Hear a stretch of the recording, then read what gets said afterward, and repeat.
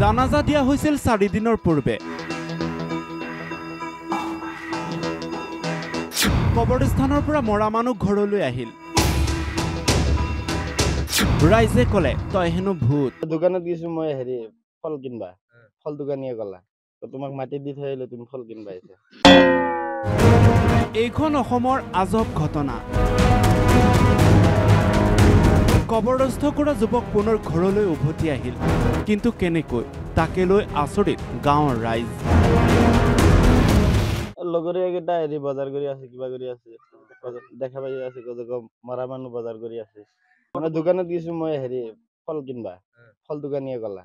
তোমাক মাটি দি থৈ আহিলো তুমি ফল কিনবা আহিছা এনেকে কৈ আছে।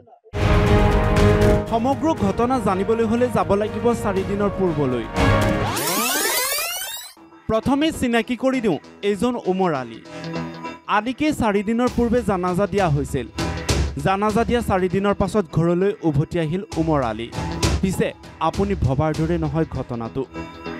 ঘটনা অনুসৰি কেইদিনমানৰ পৰা নিৰুদ্দেশ হৈ আছিল উমৰ আলী। উমৰ আলীৰ পৰিয়ালে মঙলদৈ আৰক্ষীৰো কাষ চাপিছিল। কিন্তু আৰক্ষীয়ে কোনো সম্ভেদ দিব পৰা নাছিল পৰিয়ালৰ লোকক। তাৰ পাছত চাৰিদিনৰ পূৰ্বে গা ধোৱা চাপৰিত উৱলি যোৱা এটা মৃতদেহ প্ৰত্যক্ষ কৰিছিল অঞ্চলটোৰ ৰাইজে। সেয়ে মঙলদৈ আৰক্ষীয়ে মৃতদেহটো উমৰ আলিৰে বুলি আনুষ্ঠানিকতা কৰি উমৰ আলি পৰিয়ালক গতাই দিছিল। পৰিয়ালৰ লোকে জানাজা সম্পন্ন কৰিলে। তাৰ পাছত চাৰিদিনৰ পাছত ঘৰ ওলালহি উমৰ আলি। তাকে দেখি হতবম্ব সকলো। ওলাই গৈছে। গ'ল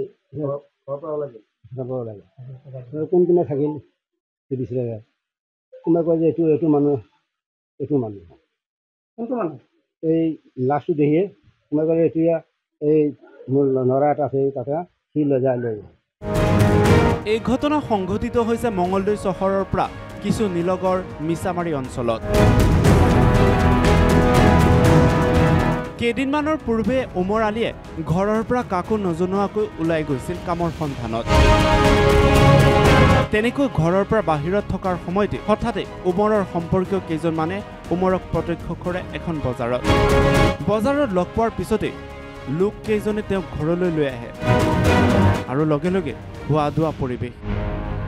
আনফালে কিদৰে সেই উৱলি যোৱা মৃতদেহটো উমৰ বুলি চিনাক্ত কৰি পৰিয়ালক গতাই দিলে আৰক্ষীয়ে তাকো লৈ প্ৰশ্নৰ অৱতাৰণা হৈছে। এতিয়া এইখন অসমত এনে এক আজব ঘটনা যি আজব ঘটনাই সকলোকে ভবাই তুলিছে। এতিয়া প্ৰশ্ন হয় গা ধোৱা চাপৰিত উদ্ধাৰ হোৱা মৃতদেহটো প্ৰকৃততে কাৰ আছিল? সেয়া আৰক্ষীয়ে পোহৰলৈ আনিব পাৰিবনে? News desk report the news plus.